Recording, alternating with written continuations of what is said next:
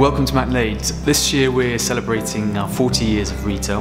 Uh, my family have been here at Macknade since the mid 1800s, but my father, uh, Renato, he, uh, having come over and married my mother, Patricia, uh, in the 70s, started up his farm shop 40 years ago on the Ashford Road, some five minutes up the road from our site here at Macknade. And so what we're doing is just taking it as a celebration and giving the opportunity for our customers and those who don't know us yet, just to introduce a little bit about business, where we've come from, where we're going, and just give an idea of what we do as a whole and, and, and all the different characters who are involved in making Macknade what it is.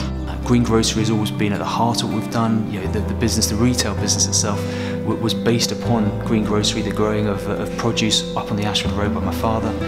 There were trends coming out of the US around pick your own, and so we started to grow produce that people would come onto site, pick themselves, uh, and, and, take home directly. And that really is where Macknade as is today sort of kind of grew and, and was nourished. And now greengrocery still sits very much uh, at the heart of what we do. Our greengrocery department is a key part of Macknade.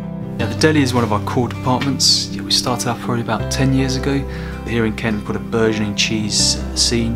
We've got some fantastic producers based on the fact that we have some fantastic agricultural land and really high quality milk. So the cheeses coming out of the Kent producers are top notch. Here on the counter now, we have 200 plus cheeses. We have hugely skillful uh, cheesemongers and, uh, and indeed our guys' knowledge around charcuterie.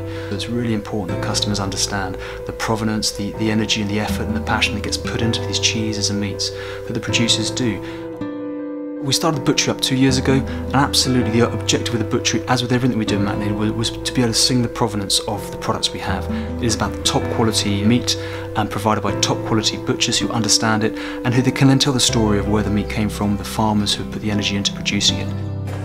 One of the principal reasons for starting up the cafe was about seven or eight years ago, um, was that you know you can get a fantastic espresso, and I drink a lot of espresso coming from an Italian family. So for me, it was a case of well, you know what would be nice would be able to be able to sit around a table with my family in the morning and enjoy a decent espresso. We found a fantastic supplier in Florence. Uh, they're, they're, one of the oldest coffee houses in Italy, Manaresi, uh, and we've been importing their coffee directly uh, for the last 15 years.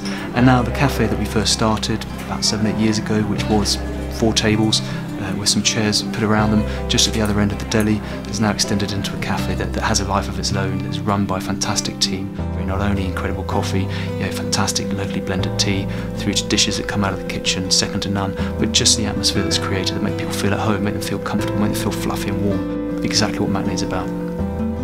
Thanks for watching and uh, yeah come and see us. I'm always knocking around the shop. Give me a shout more than happy to come and share a cup of coffee and tell you a little bit more about what we do otherwise yeah, we've got our team as a whole will be here to look after you.